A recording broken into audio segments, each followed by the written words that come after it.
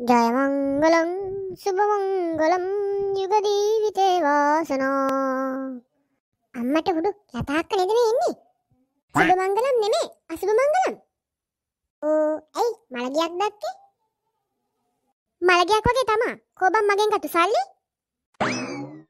හරි හරි ඉතින් මන් දෙන්නම් කිව්වනේ දෙන්නම් ඉතින් දෙන්නම් දෙන්නම් තමයි සල්ලි ගන්නකම්ම තුන හතර පාරක්ම ගෙදරට ඇවිල්ලා ගියා ඊට පස්සේම දැක්කෙත් අදයි මේ මේ මේකනේ සල්ලි ගත්තුන්ගේ ක්‍රමය ඒකයි. ලතාක්කේ ණයට ගත්තුන්ගේ ප්‍රමිතියක් කියලා දෙයක් තියෙනවනේ. ආපහු ජීවිතේට ඒ පැත්තට යන්නේ නැහැ.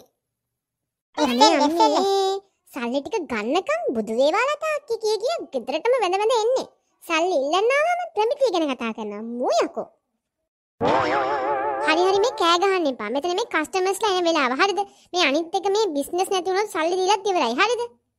හරි මං කීයක් දෙන්න තියෙනවද? 7100යි. ඕ 7100ක් නේ. ඔව් 7100යි.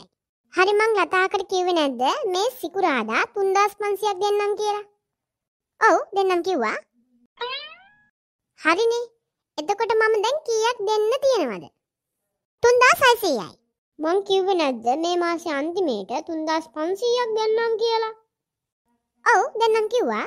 ආ ඒකනේ. භාගයක් නෙමෙයි තුන් කාලක් මන් දැන් දීලා තියෙනවනේ. මන් තව කීයක් දෙන්න තියෙනවද එතකොට? 3600යි 3500යි 7000යි රුපියල් 100යි. රුපියල් 100යි. ඉඳා ඉඳා තියාගනින් මේ රුපියල් 100. උඹලා හිතන් ඇති මං 100ට ඇඹරෙයි කියලා. තියාගනින් උඹගේ 100.